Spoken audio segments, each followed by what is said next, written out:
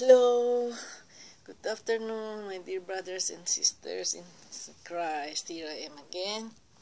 I'm going to post today one vision.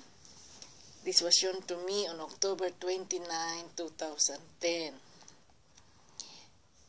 I have drawn it here. Here appeared a black three islands and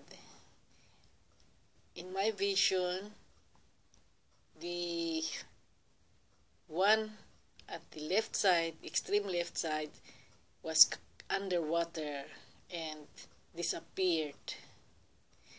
And then it was followed by the second black island that is beside it, also was completely underwater and disappeared to be seen no more and then lastly the one at the right that is a bit bigger island and also was completely uncovered underwater and then disappeared to be seen no more. So prophetic word is this. Just as in the time of Noah so shall it be again. This event will surely come to pass. This was shown so that the people can be warned.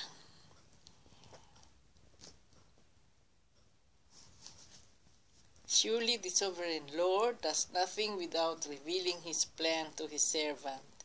And this servant wants the people for God Yahweh and the Son, Yahushua HaMashiach, Jesus Christ the Messiah, is the only Savior, and He has pity on His people.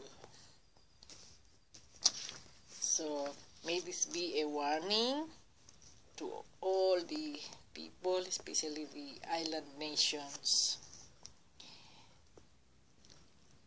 Remember and understand that no prophecy of Scripture come by the prophet's own interpretation. For prophecy never had its origin in the will of man, but holy men of God spoke as they were carried along by the Holy Spirit. That is found in the Bible, second book of Peter, chapter 1, verse 20 and about the disappearance of these three island nations. The prophetic word is that from book of Isaiah, chapter 24, verse 18, which says, Whoever flees at the sound of terror will fall into a pit. Whoever climbs out of the pit will be caught in his snare. The floodgates of the heavens are opened. The foundations of the earth shake.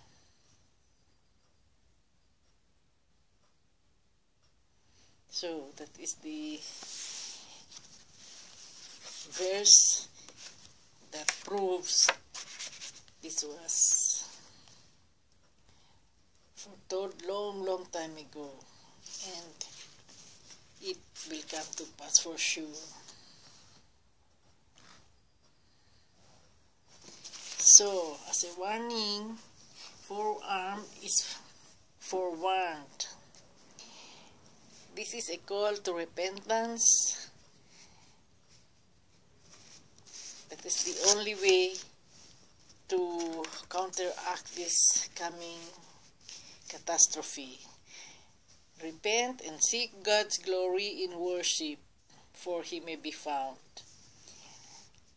Lord Jesus' redeeming love is so great that he gives the spirit of repentance and grace to those who come to him with humble heart and acknowledge him as Lord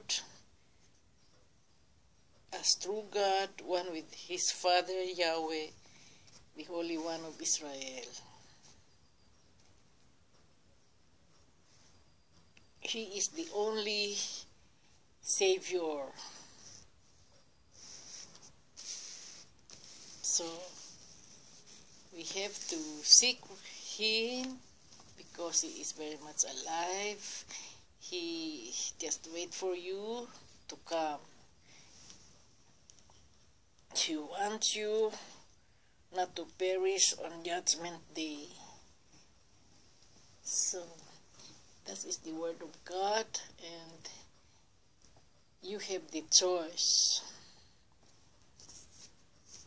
God has given us a free will to choose which one to take.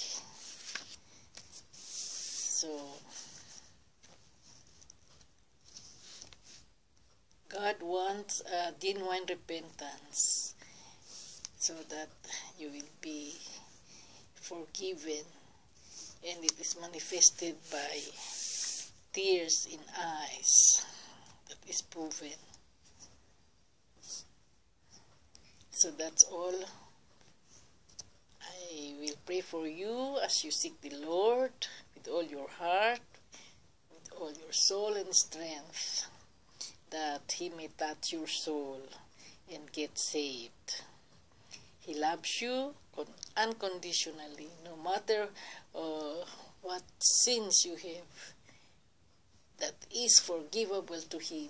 You just come to Him in humility ask for His mercy, confess all your sins, and then you will get saved. The time is running short now, so don't delay your decision, your choice, because the time is running out. You must be baptized by the fire of the Holy Spirit that is the fire of deliverance, so that you are delivered from darkness to light. You turn from the power of Satan to the power of God, so that you will be born again, which is the requirement for salvation of soul. So, that's all. May the sweet blessings of the Lord be with you in the mighty name of Yeshua Mashiach, Jesus Christ the Messiah. I love you all. Bye. Amen.